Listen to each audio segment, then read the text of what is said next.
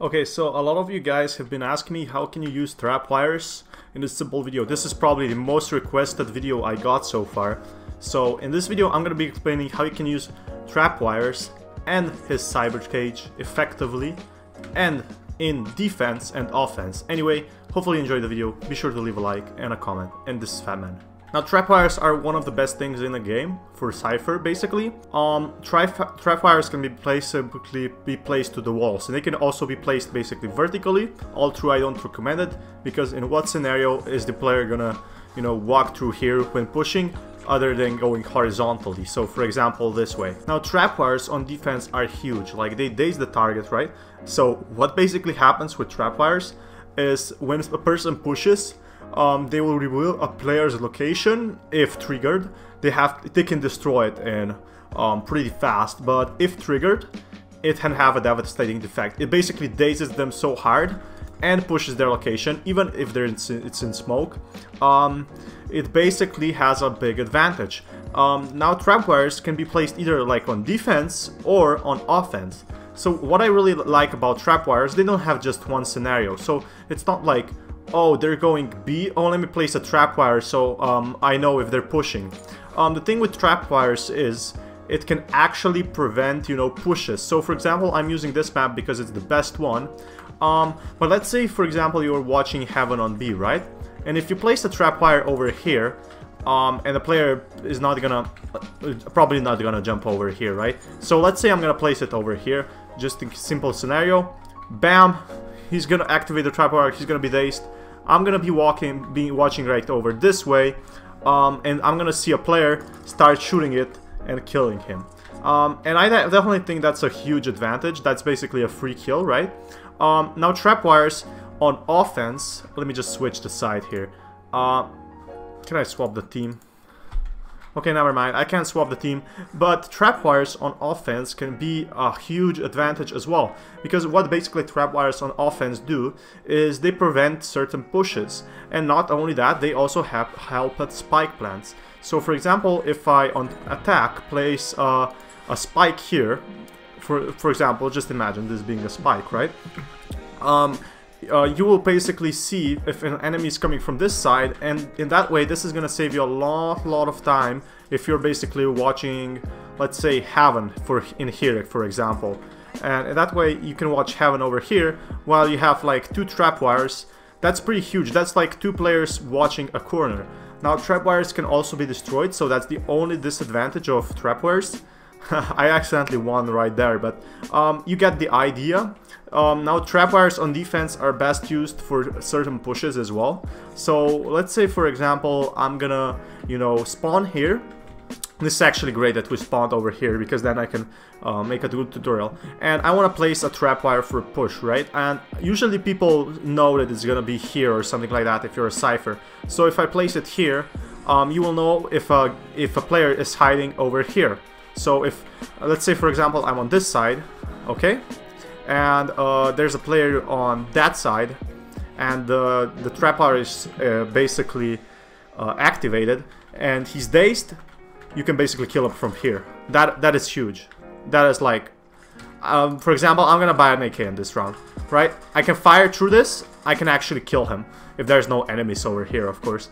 Um, but it has a big advantage in actually getting uh, a lot of uh, map control, which is a huge right now. Like map control in this game is 10 out of 10.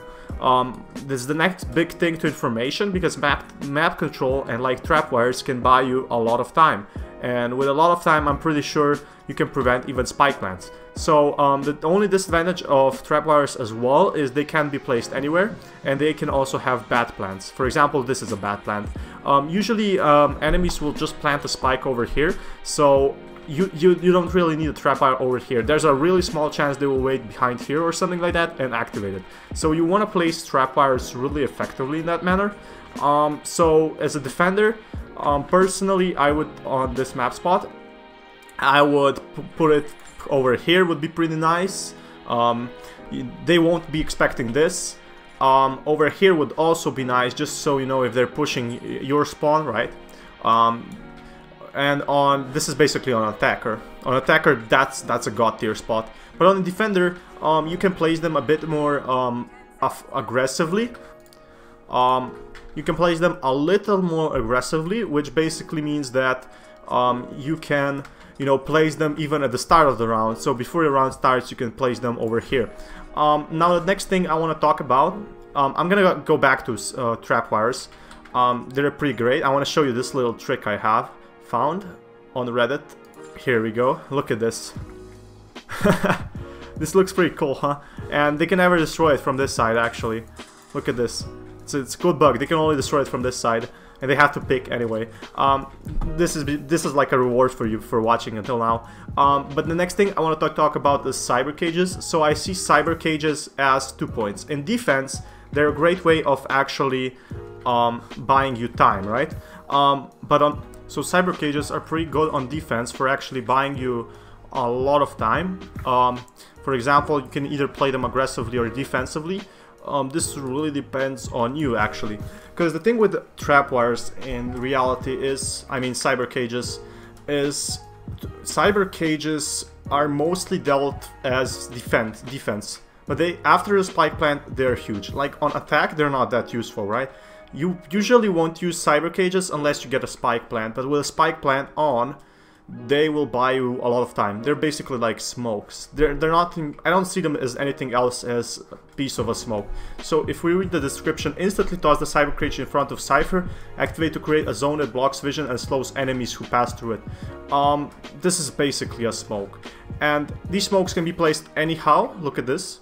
Um, it has a huge advantage right now. It, it buys me like 15, 15 seconds, I'd say, at least 15 seconds um, before the post starts. So if it's less than 45 seconds and you have two cyber cages, if you play defensively and they're going B, uh, you're basically gonna win the game.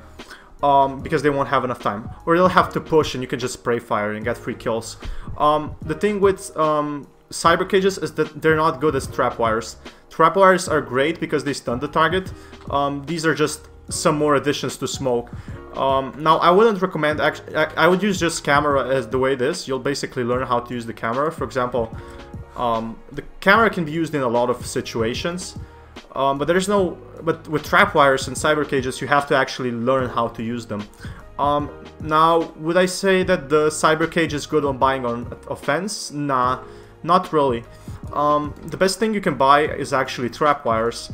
Um, and maybe I say some light shields and stuff like that. I buy the weapons first, then I go for trapwires. And then uh, the last thing, if you have enough cash for is cyber cages. The thing with cyber cages is that they're super cheap.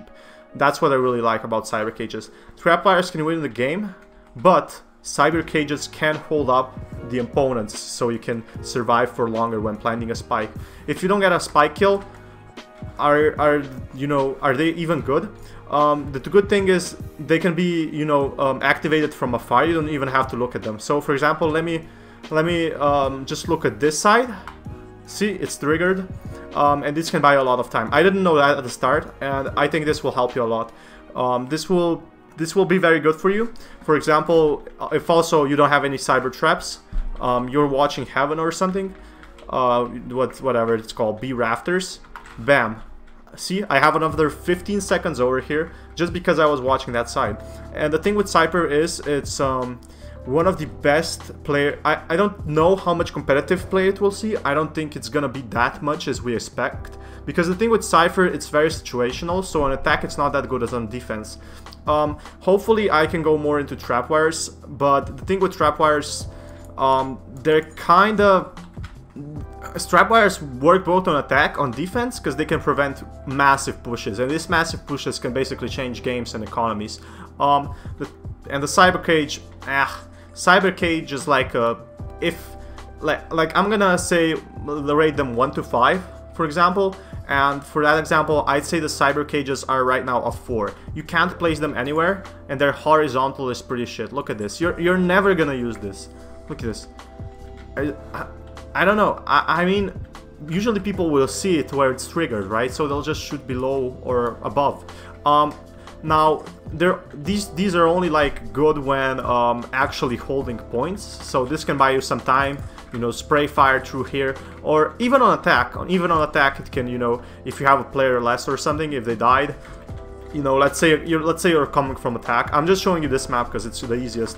Um, th this could be this could be actually a bit slightly offensive, but you get the point. And you can go up the balcony without getting sniped or something. And let me know if you want more videos on this, on Cypher, because um, definitely, I'm definitely up for it.